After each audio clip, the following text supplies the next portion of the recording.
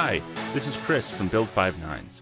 Let's take a look at creating an Azure IoT Hub from the Azure portal. I'm going to go ahead and click Create a Resource there on the Azure portal homepage, and then on the section on the left in the categories, we'll click on Internet of Things. And then we'll choose IoT Hub as the resource we want to create. And we do need to specify a resource group.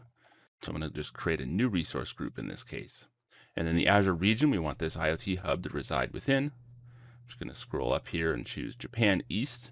You can choose any of the 61 Azure regions, or time goes by, they'll be adding more regions.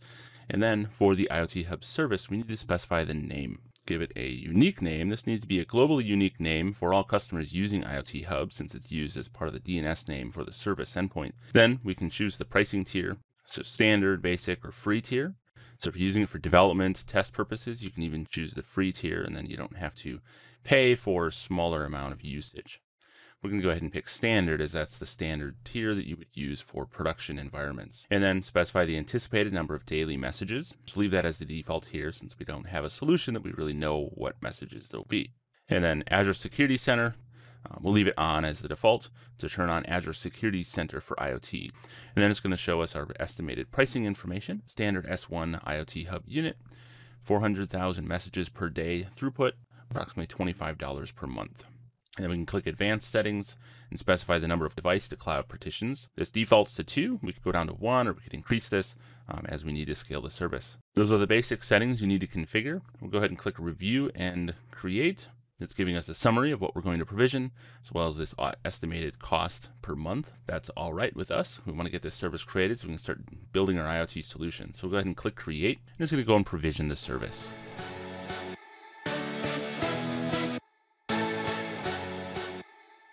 Now that our IoT hub has been provisioned, we can go click the go to resource button here to go see it.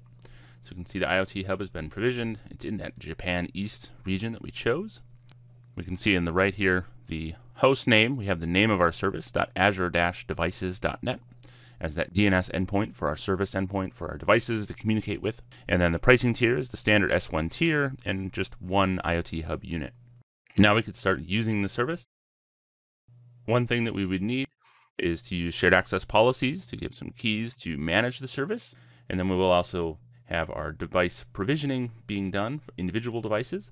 So if we go down here to IoT devices, we can go in here in the portal and start adding new devices connected to the service. Normally with an IoT solution, you'll use the device provisioning service or DPS. Now to look at the pricing and the scale, this is where we can change the pricing tier. So if we want to change from standard to standard S1 or S2, S3, we could do so to be able to scale that way by changing the tier. And then we could also change the number of IoT Hub units to scale up the number of units as well.